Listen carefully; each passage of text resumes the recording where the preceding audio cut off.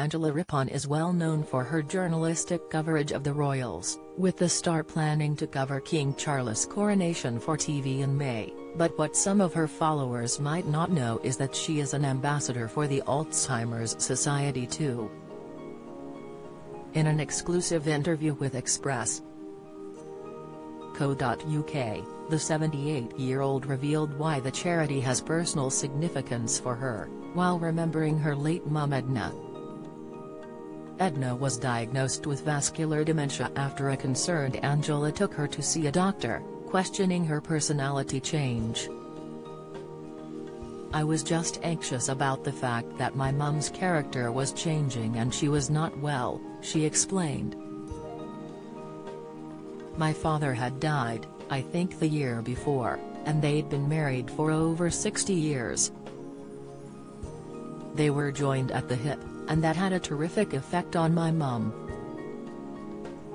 I think I had put, first of all, some of her problems down to the way that she was grieving for my father, but just realized that it was going on too long, so I did consult our local GP.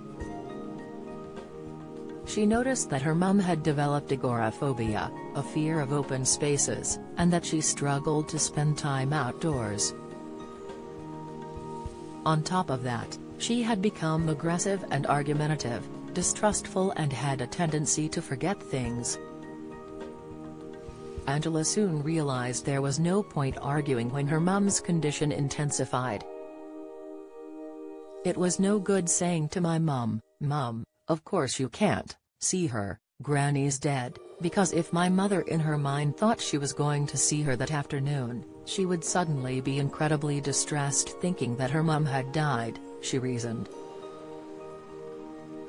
You have to be very patient, you have to be very understanding, and obviously you have to inhabit your loved one's world very often. You have to join them in their parallel universe, Angela continued. If you're distressing them, you make them realize that there is something terribly, terribly wrong. It's better to go along with what they're saying, and then change the subject. She would also receive the same questions several times a morning some days, but learned to say things as if I was telling her something for the first time. The most important message that Angela wants to communicate about the Alzheimer's Society is that it's still possible for sufferers to live a fulfilling life, with the right support and understanding around them. I want them to have the dignity of knowing that they are not being treated as an outsider, that they are still very much an integral part of our lives and families, she explained. If you are a person with dementia, you can live well with it and it's up to the person themselves being prepared to accept some of the limitations that come with it, but more importantly, for carers to be able to say, my loved one, is still an important and much loved and respected person within the family. A third of us will develop dementia in our lifetimes. Alzheimer's Society vows to help end the devastation caused by dementia, providing help and hope for everyone affected.